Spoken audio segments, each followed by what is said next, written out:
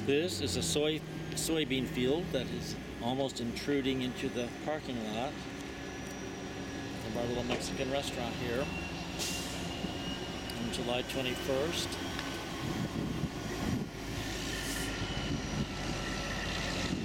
Day twelve.